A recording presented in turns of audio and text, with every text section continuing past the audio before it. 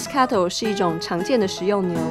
由苏格兰北部的 Aberdeenshire 与 Angus 混种培育而成，在世界各地被统称为亚伯丁安格斯牛。肤色上有黑红两种，没有牛角，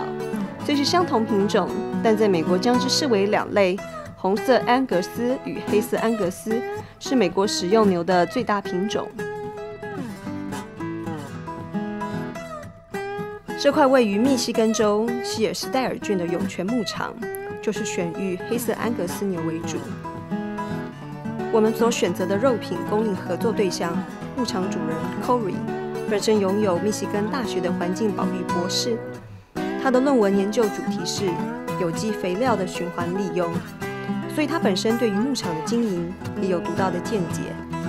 他的牲口都是采自然放牧。让牛只食用牧场内循环再生的牧草，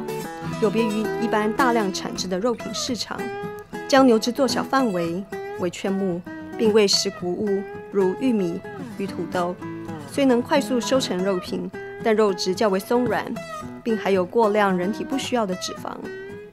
根据乔强森在《草原放牧的健康优势》一文中提到，消费者往往以为肉就是肉，不管牲口由什么喂养而成。其营养价值总是相同。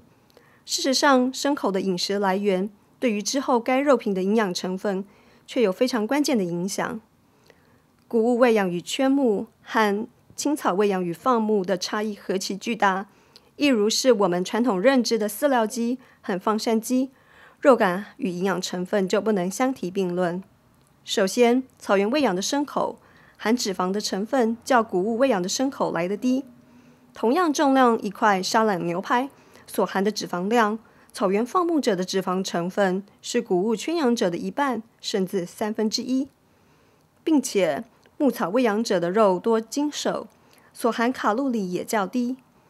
一般来说，每克的脂肪含有九卡路里，而瘦肉成分较多的草原放养牲口含脂量只占一半。也就是说，一块六盎司的牛排。两者相差将近一百卡路里。照平均统计，美国人每年摄取六十六点五磅的牛肉。若肉品来源皆为草原放牧者，将可减下一万七千七百三十三卡路里的摄入量，几乎等于可让每人瘦下六磅重，能有效降低慢性肥胖的发生。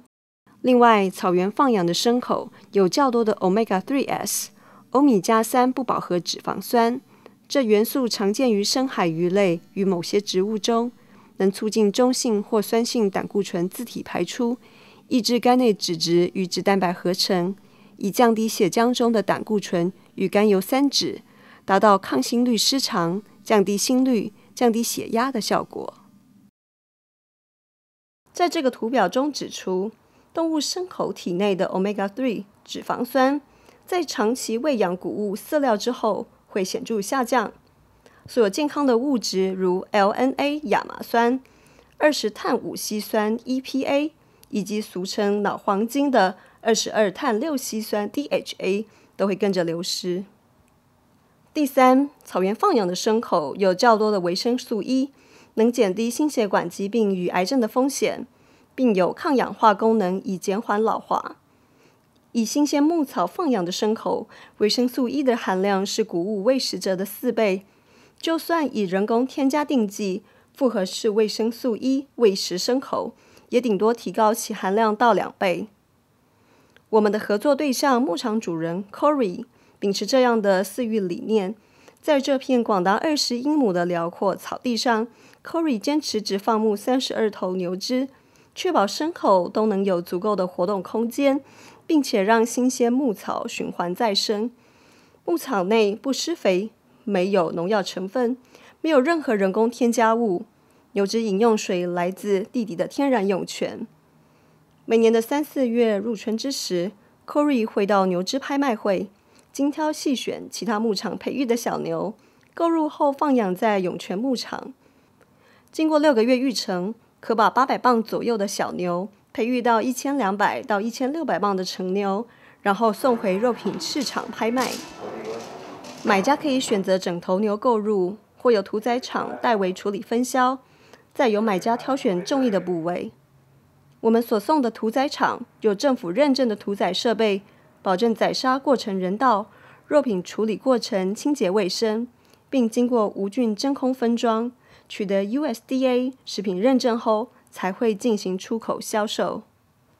由于饲主 Corey 在选种、饲养与宰杀等一系列对产品品质的严格管控，永泉牧场每年能提供的成牛只数非常有限，